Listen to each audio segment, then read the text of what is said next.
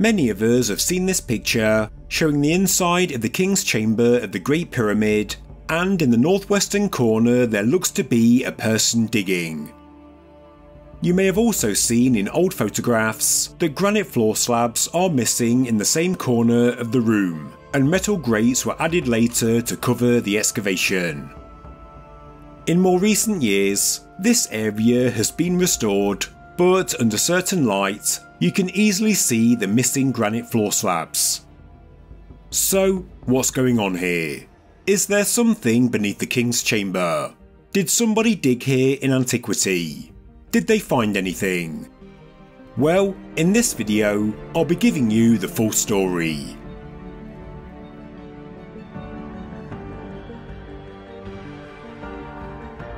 Hello everybody, and welcome to Ancient Architects. Please subscribe to the channel for regular content on ancient architecture, as well as all of the latest news from the world of archaeology.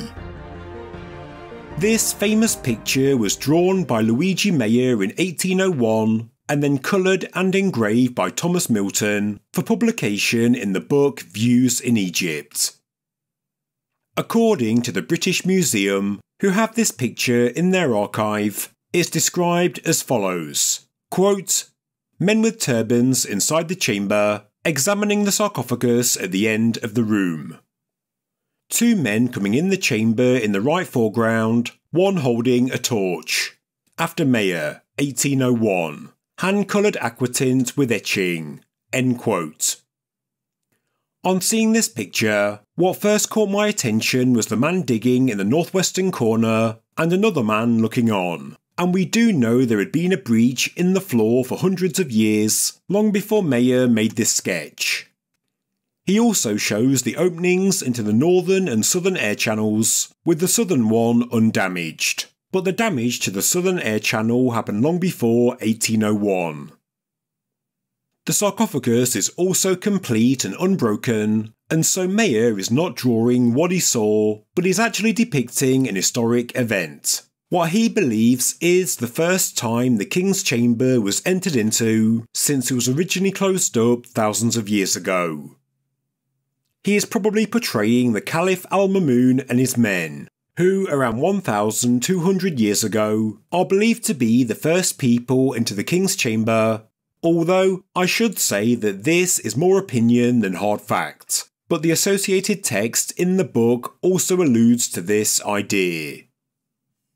The book does not describe the king's chamber in any great detail, just that it's 35 feet long, 22 feet 5 inches wide, and 25 and a half feet in height. It then gives the dimensions of the sarcophagus. There is no mention of the excavation in the corner of the room. So, we know it was there in 1801 and that Mayer believed it was opened in the 9th century by the Caliph al Mamun, but I wanted to know more. Before I go further, this video is sponsored by Odoo, an all in one management software that provides entrepreneurs with a range of applications to simplify the day to day management of their business, including invoicing, accounting, project management, website creation, and much more. And one application I'll be looking into more in the near future is the e commerce app. For a while now, I've been developing a number of products, and as well as t shirts, baseball caps, and mugs, I've been planning a number of small ancient history guides or booklets. And the e commerce app from Odoo is so easy to set up. There's a variety of themes you can choose from, and the e commerce website is automatically adapted to mobile devices. There's no complex backend to deal with. Everything is visual and easy to use. And what's more, it's also free. You can easily create a product, enter the name, price, and publish. Customize the product page by adding pictures, a description, or adjusting the layout by using the blocks. You can also add product variants like sizes, colours, and more. Odoo's e-commerce app is a powerful tool. You can set up your shipping methods and payment providers to help you maximise your revenue. It's the ultimate shopping experience. for you, the business owner, and also the customer. And because the first app from Odoo is free for life, including unlimited hosting and support, it basically means you have a free e commerce website. You also get a free custom domain for one year. So, click the link in the description to start using your first app for free and see for yourself how easy it is to use. And now back to the video. The next thing to check was the work of Howard Vyse, who we know was inside the Great Pyramid in 1837 and must have seen the excavation in the floor. On page 4 of his volume 1, when giving an overview of the state of the pyramid before his work began, he says, quote, One of the blocks composing the pavement had been taken up near the northwestern corner of the king's chamber, and an excavation had been carried on beneath the sarcophagus. This last, however, was almost entirely filled up with rubbish. On February the 4th, 1837, a Maltese man named Paolo, accompanied by Captain Caviglia and Vyse's worker Mr. Hill, had the plan to bore through the floor in the centre of the king's chamber to find out what's beneath.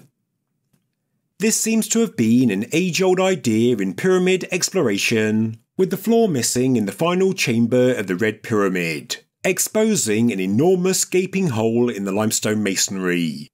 When this was done, we don't know.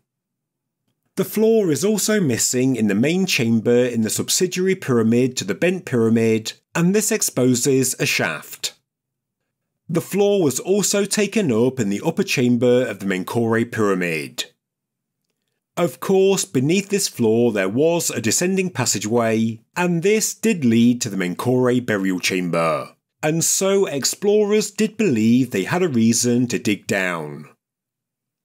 But due to the closeness of the joints between the granite, Paolo Hill and Caviglia could not lift the floor slabs, and so they could not start work in the king's chamber. And so, the following day, Vyse directed Paolo to clear out the old excavation in the northwestern corner. He was to begin excavating at a depth of 6 feet and 4 inches below the surface of the granite, 3 feet from the northern wall, and 10 feet 9 inches from the western wall. I can only assume that this was the extent of the original excavation before Vyse began his work. It was already 6 feet 4 inches or around 2 metres in depth. Vyse does not give us any update on how his work progressed, and we can only assume that nothing was discovered. The extent of the excavations from Vyse's mission are shown on the diagrams of John Perring, where, below the sarcophagus, we can estimate that a depth of around 4.2 metres was reached. Later in his volume 1, Vyse says that he believed the small rectangular floor slab in the corner of the room had been removed in very early times, as there was an old belief that treasures were concealed below sarcophagi. As most of the floor was composed of large blocks of granite, these small slabs in the corner of the room would be an obvious starting point for any treasure hunter, so it's no great surprise they're missing. When clearing out the old excavation, it was noted by Vyse that great care had gone into the stonework beneath the floor, but there is no mention of any finds whatsoever. The next prominent diagram is from the 1867 book by Charles Piazzi Smyth called Life and Work at the Great Pyramid. The excavation is clear to see, and although filled with rubble, the depth of the excavation does seem to marry up with Perring's diagram. Smyth does tell us something else interesting as well. When he was in the pyramid in 1865, he noted there was dust and dirt, as well as a large lump of limestone inside the sarcophagus. Apparently, the reason a chunk of limestone had been left inside the coffer was so tourists could bash it against the coffer to make it, as he says, sound like a bell. I would suggest the stone was in fact a chunk of granite from the floor in the northwestern corner, and was probably bashed against the sarcophagus so people could take chunks for souvenirs, hence the damage we see today. Apparently, Smyth removed the chunk of rock from the sarcophagus and threw it into the hole in the floor to stop people damaging the priceless relic. In 1901, the Edgar brothers also mentioned the excavation in their book Great Pyramid Passages Volume 1, and they say that the excavation was like a large hollow in the soft limestone below the granite. Although it was really nothing of note, it did show them that the granite walls of the king's chamber rest on limestone, exactly 5 inches below the upper surface of the floor. They say the excavation was created by early looters and that some of the raised floor blocks were still inside the chamber, but there is no mention of how deep the excavation went. This is their picture from inside the king's chamber, and we can see the cavity to the right of the coffer. Regarding the excavation, we don't get a great deal more information from any future explorer, and the next author I'll quote is J.P. Lepre, who in 1990 wrote the Egyptian pyramids. Lepre is one of the few authors to mention the excavation, but compared to the drawings by John Perring and Charles Piazzi Smyth, his description is quite different. He says the excavation under the floor is 30 feet or 9.1 metres in depth, which is more than double what Perring recorded on his diagram of the King's Chamber. Now, Lepre was a great researcher, but I don't know where his measurements came from. There is no evidence he ever went under the floor of the King's Chamber, and after Vyse's excavations, there is no record the crude pit was cleared of rubble, the same rubble that showed by Piazzi Smyth 30 years later. If it contained this rubble, Lepre would not have been able to measure its depth. So, Perring and Piazzi Smyth show the excavation is 4.2 metres deep, but Lepre says it's 9.1 metres. We don't know who is right, but I'm more inclined to believe Perring just because he was there in 1837 documenting the work by Howard Vyse and his team. And after 1837, there is no record of any further excavation under the floor of the King's Chamber, and so there is no reason to assume it was deeper than what's shown on this diagram. So, all we know for sure is that the excavation started in antiquity, and Vyse's men deepened it, and although Mayer shows Arab explorers of the 9th century being responsible for its creation, it could well have been there since ancient times. Of course, there's no way to know, and by all accounts, nothing was ever found down there. Well, at least in the modern era. But I have come across some super rare photographs, two from 1997 from an unknown source, and a couple more from friend of the channel Nacho Ares. And for my Spanish speaking viewers, please do check out his fantastic channel which I've linked below. The pictures don't show a lot, but as far as I'm aware, they are the only views beneath the floor in existence. If you do have any more, please do get in touch and share them. Now, I've seen many pictures of the northwestern corner of the King's Chamber and even in the past 100 years, it looks to have changed many times. The excavations have been open, they've been covered by wooden planks and then metal grates. Here we can see one of the lifted floor blocks pushed into the corner of the room, and it looks to be covering some rope that's been pushed into a hole in the very corner of the chamber. You can see what looks like a wooden frame separating this hole and the metal grate. Now we're looking at the old grate, and there looks to be two excavations below it, separated by a wall of masonry. In this picture, we're looking into the westerly half of the grate, and we're looking in a northwesterly direction. On the right, we can see the bottom of the King's Chamber northern wall with the granite resting on the limestone. A brick wall has been crudely built, and beyond it is the wooden frame we've just seen. We can also see a wooden post. This modern work looks to have been done purely to support the metal grate, to stop tourists breaking a leg. Looking from above, and here is the approximate positions of the brick wall, the wooden frame and also the wooden post. The next image is looking down the easterly half of the grate. We can see that some brickwork has been added and it's supporting another wooden post, again added to support the metal grate. In this picture, the excavation is deeper and at the bottom of the picture, the excavation continues in a southward direction, and then continues beneath the sarcophagus. This picture from Nacho Ares looks to be showing the same view, but from a different orientation. If I place them side by side, this looks to be the same post, and I think that these two blocks are the same. It's really hard to tell, but they don't show a great deal.